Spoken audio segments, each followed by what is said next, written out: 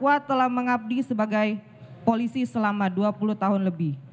Selama melaksanakan tugas sebagai polisi, terdakwa tidak pernah melakukan perbuatan tercela. Terdakwa bersikap sopan di persidangan.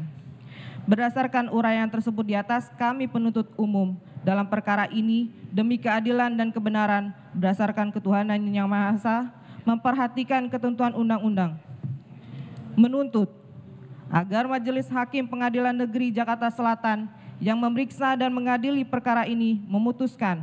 Satu menyatakan terdakwa Agus Nurpatria Adi, Adi Purnama SIK terbukti secara sah dan meyakinkan bersalah melakukan perbuatan turut serta melakukan perbuatan dengan sengaja dan tanpa hak atau melawan hukum melakukan tindakan apa pun yang berakibat terganggunya sistem elektronik dan atau mengakibatkan sistem elektronik menjadi tidak bekerja sebagaimana mestinya sebagaimana diatur dan diancam pidana dalam pasal 49 Jungto pasal 33 Undang-Undang Nomor 19 Tahun 2016 tentang perubahan atas Undang-Undang Nomor 11 Tahun 2008 tentang informasi dan transaksi elektronik Jungto pasal 55 ayat 1 ke 1 KUHP sebagaimana dalam dakwaan ke-1 primer.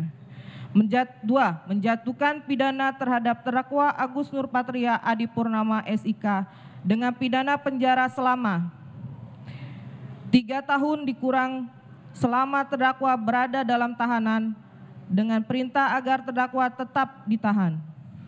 Tiga, menjatuhkan pidana denda kepada terdakwa Agus Nurpatria Adi Purnama SIK sebesar 20 juta rupiah subsidiar tiga bulan kurungan. Menyatakan barang bukti berupa satu sampai dengan nomor 67 dikembalikan kepada penuntut umum untuk digunakan dalam perkara lain. 5. Menetapkan agar terdakwa membayar biaya perkara sebesar Rp5.000.